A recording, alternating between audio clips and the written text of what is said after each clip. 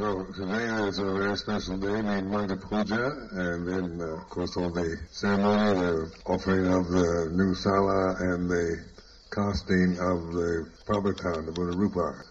This is a, a lot for one one day, full moon in February. Uh, 1,250 arahants assembled spontaneously to pay respects to the Buddha. and then we had this wonderful dramatic Patimokkha with the wind blowing and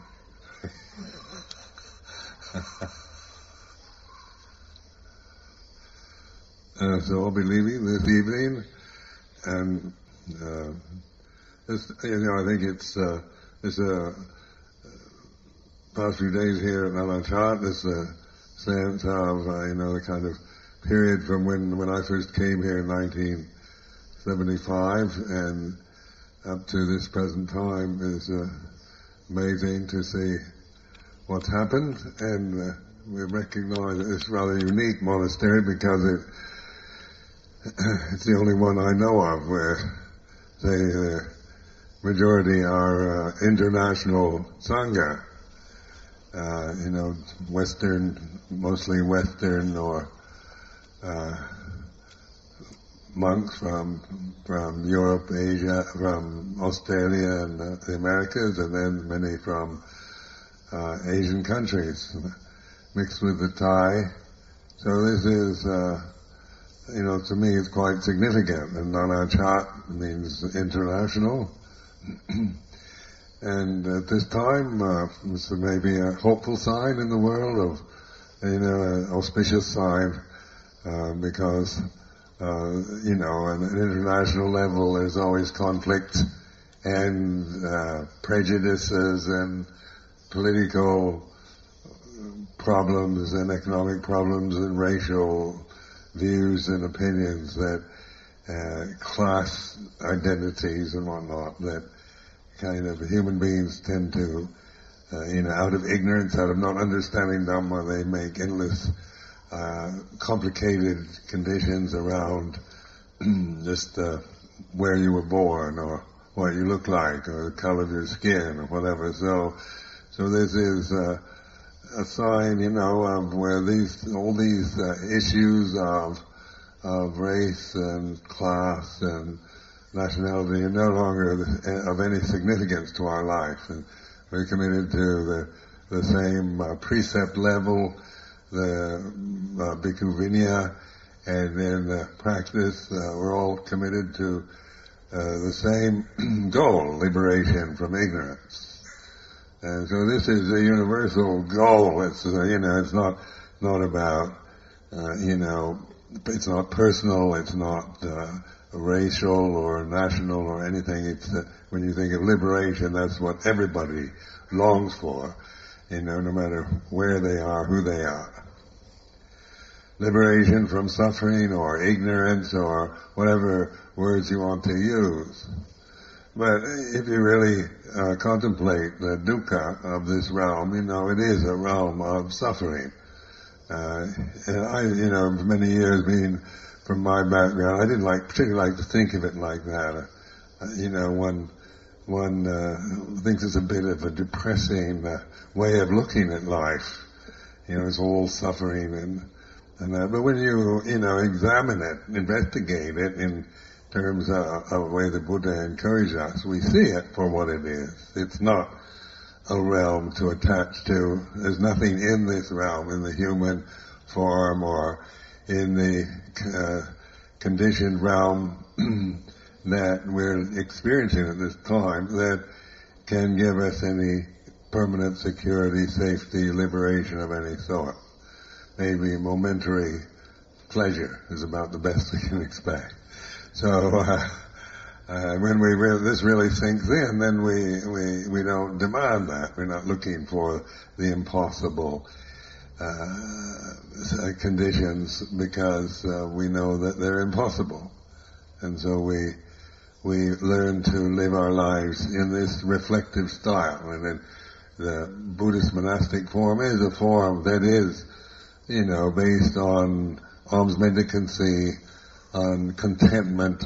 And this uh, word contentment is very important to me because I see so many problems in the Sangha, uh, in, you know, in the West, in England, for example, or other places, is that uh, very few very few monks or nuns ever really find contentment. Uh, it's uh, you know there's always a striving for something, wanting a better or something better than what they have, something more, and uh, they can you can always imagine something better than what you have. Even if you have the best, you can always imagine it being better than the best. Which I don't think is possible. Uh, best is, you can't get beyond that. But, but the mind, you know, the thinking mind will create uh, even the ridiculous absurdities of better than the best. And so that's the thinking mind. The thinking mind is not to be believed in or attached to, but recognized.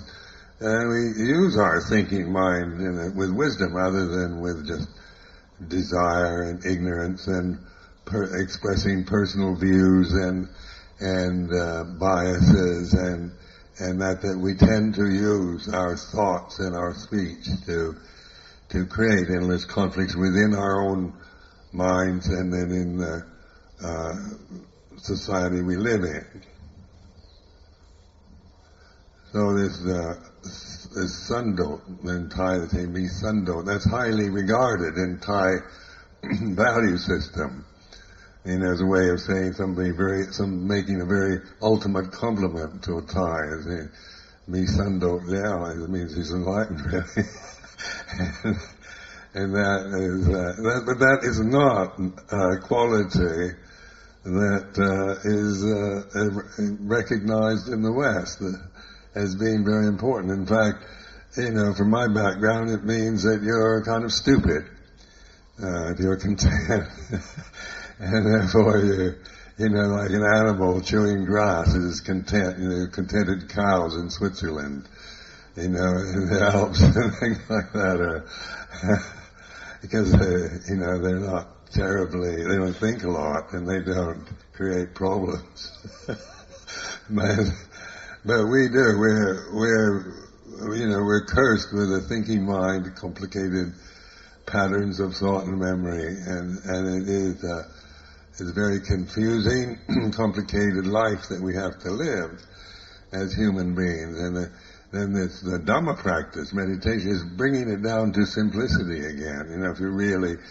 uh, understand what mindfulness, sati really is, you know, and under, you know, develop it, it's ultimate simplicity. It's just, it's the ability we have in the present to let go of everything and just be totally present, open to the way it is. And there's nothing grasping, no grasping, no demand, no criticism being made. It's just the ability to to embrace the totality of a moment in consciousness.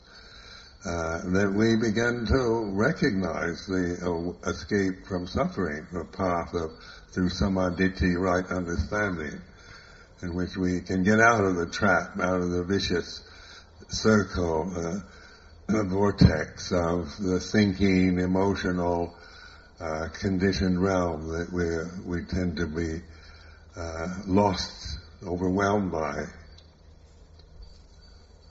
So uh, today, the, you know, the uh, Kudme Bao, she came. She was one of the um, supporters that helped make uh, the last uh, the, my reign at my brief reign at Wat Nanachat.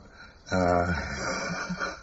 uh, she she was the one that came when, and we had just this grass roof uh, sala, you know, and just a very primitive um, place that, uh, you know, with bamboo uh, beings, you know, we sat on bamboo and then the floor was dirt, dirt floor. We put mats on it. Yeah, I quite liked it actually. It was, uh, you know, not particularly uh, hungry for glamorous uh, salas, but so and some of these more primitive things are quite pleasing to to an eye like mine. You know, it's got a basic, and you, you can't really do that in Seattle, Washington.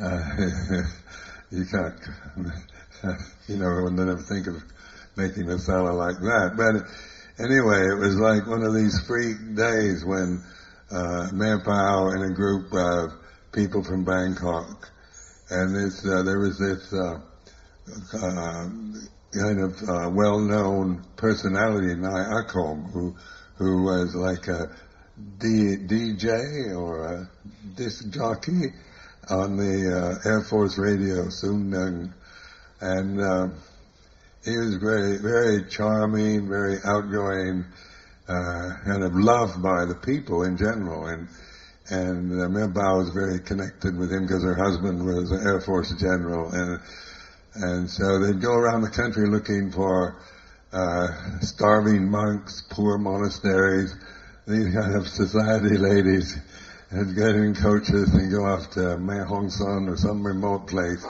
just to find some uh, destitute monastery, and then they'd rush back to Bangkok, raise the money, and buy the, things to take and offer as a papa, as a dana offering. And so Luang Por Chah told them about us. You know, we, at that time we were, we were very, very poor. And so, uh, and the day they came, the, the coaches came up in, uh, in the morning, uh, up the road and, and immediately when they got out of the, uh, coach, it started raining, you know, and it was, uh, a freak rainstorm because it's not supposed to rain that time of the year. and it rained very hard and they all rushed into this grassroots sala, you see, and then they're all huddled in there looking at, and they, and of course the thought comes in, oh, they need a sala. and they started raising funds right in front of me. And of course the villagers thought my wife was performing some magic trick. I swear I had nothing to do with it. but it was, uh, it was auspicious. And of course then Nai one time he, he even, uh, you know, this is when I went, was in England. He was even active in raising funds for Amaravati. And so he, he one year he promised to a million baht. So, and you know, I just didn't really think about it much. And then I came the next year and, and I'm sitting in the sala at Nana Chat and Nai comes in and drops a bag of baht, a million baht right in front of me.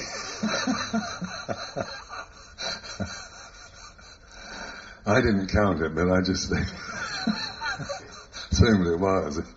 But it, was, you know, this, uh, and Mirbao is, is one of these people who, uh, you know, only Thailand can produce, I think, where they, uh, they just love to tumboon, make merit, and get such joy out of it. And so, uh, she, it's she and Nai Akom and her husband and the Thai Air Force was very much responsible for building the previous sala, which is now no longer existing. And so when we, when I went to see Mirbao before going to uh, Ratanawan a few weeks back, I invited her to come here for this ceremony. And she's not very well, as you can see. She used to be very robust, active, energetic woman, but she's had health problems and now confined to wheelchair. And but she she seemed determined then to come, and I thought, you know, I, oh, she wouldn't, couldn't possibly do that, but she, she was here this morning. And so that was very uh, joyful thing to have this continuity and uh, appreciation from the Sangha for someone like that who, you know, an old woman who is, who has spent so much of her life, uh, supporting the Sangha, uh, in the, in the way that she knows how. So, uh, this is a good image for her. You know, all these monks, you know, many of the ajahns from different branch monasteries, and then all of you coming here for this event, uh, kind of a way of expressing our appreciation and gratitude for the generosity that we receive. And so with contentment, you know, we this this is uh, the purpose of this life. You know, what an alms mendicant. Why did the Buddha establish a monastic order on alms mendicancy, on begging, on some being totally dependent on somebody else, on lay community for basic uh, requisites? You know, why? What, how could he have done that? And uh, of course, the amazing thing that it works. You know, 2,554 years, we're sitting here right now. Our lives depend on that alms, and uh, and so this is this is uh, this kind of goes against the whole cultural uh, attitude uh, of the West. Uh, you know, you've got to have security through money in the bank, and you know look out for yourself and make sure you've got loads of security, material financial security. So in Dhamma, you're really going against the whole flow of the worldly tendencies. That this time the society, economics, the political economic conditions all over, Asia, Europe, or wherever, is, is very much materialistic and about uh, you know, economic progress and and abundance and getting more and more. Uh, and so then, um, then of course nobody wants to admit the fact that it's not going to be that way. You know, the signs are there. Uh, the, the other side is happening, the, the decay, the, the degeneration. Now, as, as uh, alms mendicants, we, you know, because we of, of our life, we're no longer, you know, dependent on uh, a, an affluent society or a, uh, you know, a booming economy. Uh, so we can survive in, in the various economic bubbles and crashes and depressions that happen uh, in in uh, our lives as we live here in Thailand or England or wherever. So that means that that you know uh, the more you kind of train yourself, you know, it's not you know from from a middle class kind of background uh, where your life is based on material comfort and and uh, a kind of taking for granted a certain level of material uh, necessity to living in this very simple way where you know, rice in the alms bowl, uh, robes made from rags, and uh, shelter for the night, and uh, basic medicinal substances, four requisites.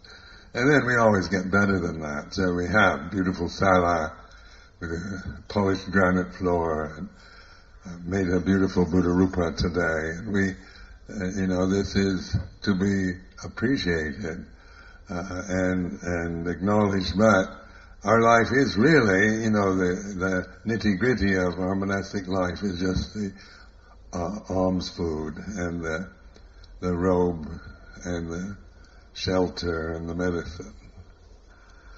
So then, uh, so then we we can also re- become aware of our own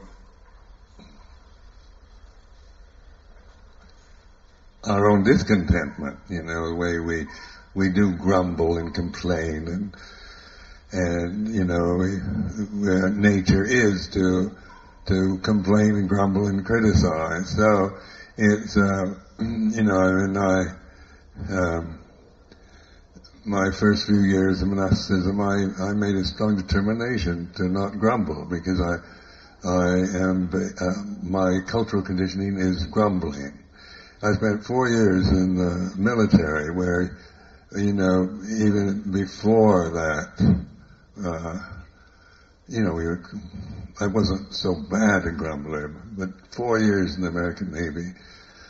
In the Navy, you just grumble about everything.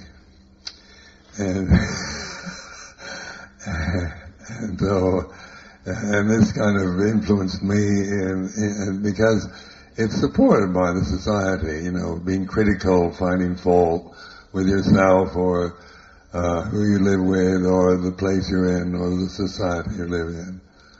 And so I made a determination, an adhitthana, not to grumble. and I've tried to keep that uh, throughout my monastic life. So, you know, in Wat Pong in the early days, where I couldn't understand, you know, most of what's going on, and so I found this inner grumbling, uh, kind of whinging, grumbling unpleasantness inside me. And, and so I, you know, but I determined not to, to develop that or to believe it or to or do anything but recognize it.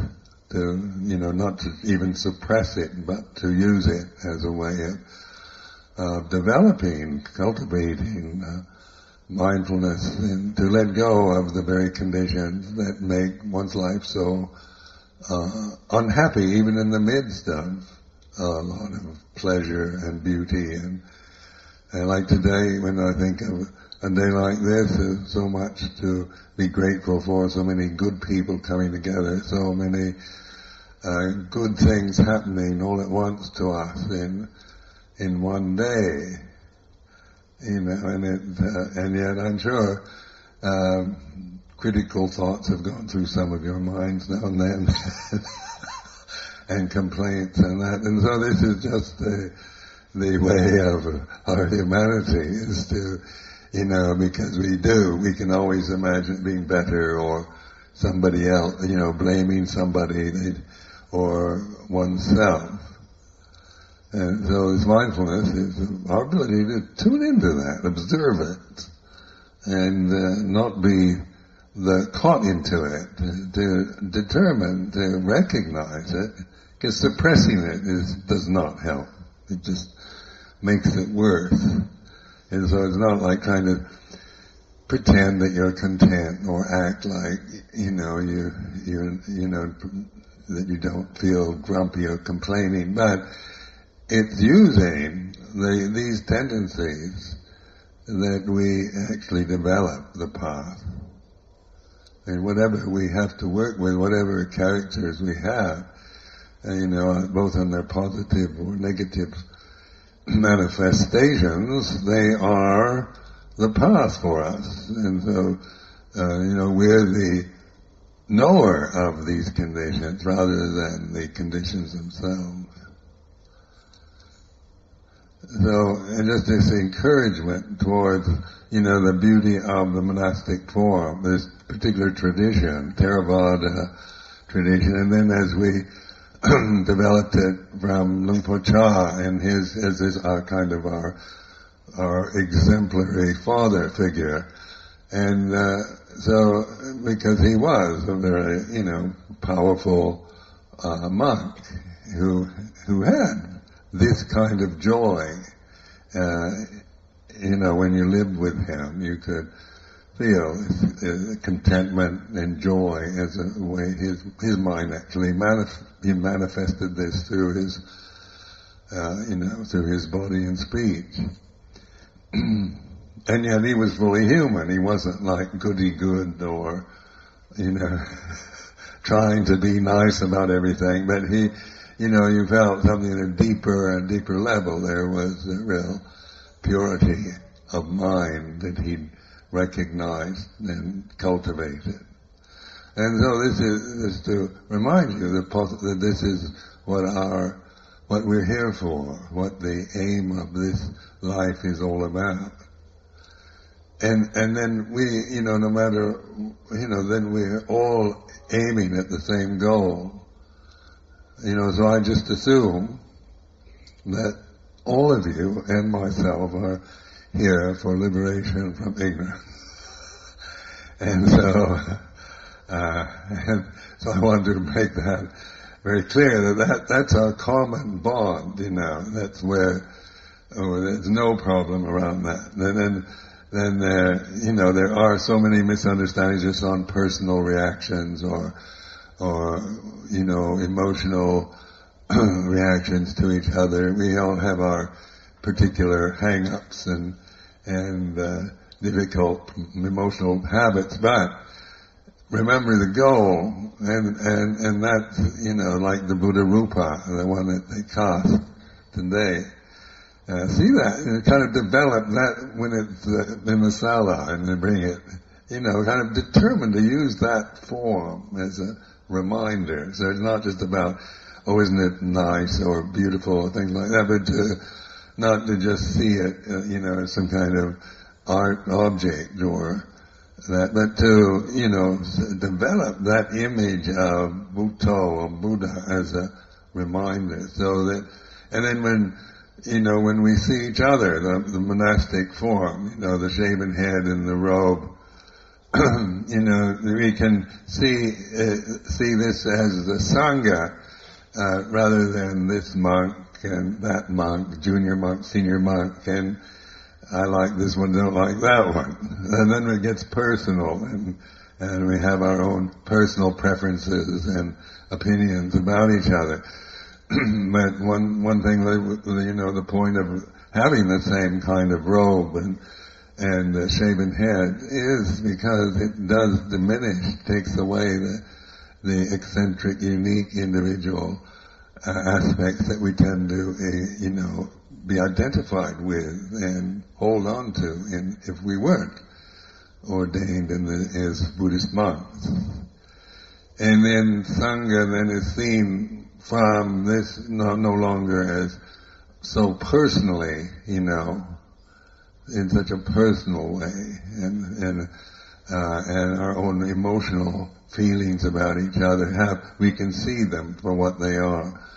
So that, you know, this, this sense of Sangha, the, the monastic form, the bhikkhu, is like a symbol for that. What the supatipanno, ujupatipanno.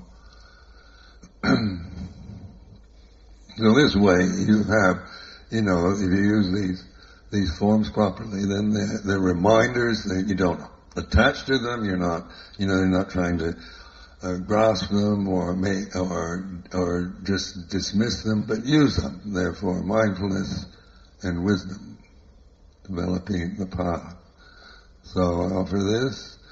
My voice is wearing out, so it's telling me to shut up.